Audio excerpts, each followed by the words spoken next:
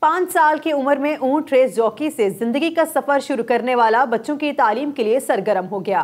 رحیم یار خان کے رمیش جیپال نے پسماندہ علاقوں میں سکول قائم کر دیے۔ ان کی زندگی کے کٹھن سفر پر نظر ڈالتے ہیں اس رپورٹ میں۔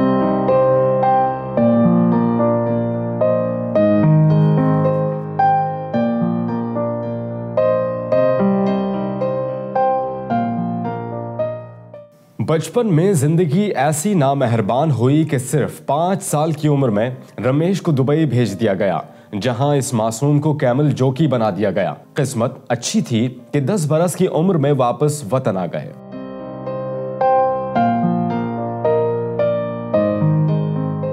ننھے رمیش پر تعلیم حاصل کرنے کی دھن سوار تھی۔ اسی شوق میں کبھی غبارے فروخت کیے اور کبھی اخبار بیچا، مگر تعلیم کا یہ سلسلہ ٹوٹنے نہ دیا۔ کچھ بڑے ہوئے تو رکشہ بھی چلایا اور تعلیم جاری رکھی۔ میں واپس آیا اور میں نے تعلیم شروع کی، تو میں نے جمپ کلاس کے ساتھ جو ہے وہ مختلف مراحل میں تعلیم حاصل کی۔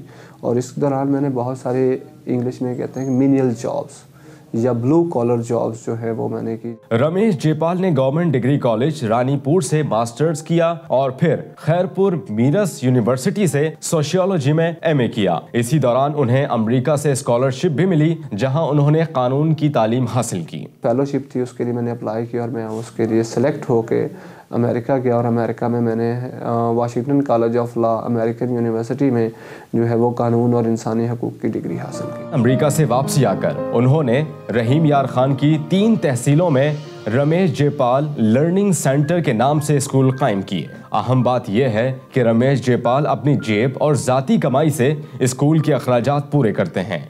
حوصلہ اور عزم جوان ہو تو کوئی بھی کمی یا کمزوری کامیابی کی راہ میں حائل نہیں ہوتی۔ رمیش جے پال اس کی شاندار مثال ہے، جس نے اپنی ہمت سے ایسی راہ متعین کی جو دوسروں کے لیے قابل تقلید ہے۔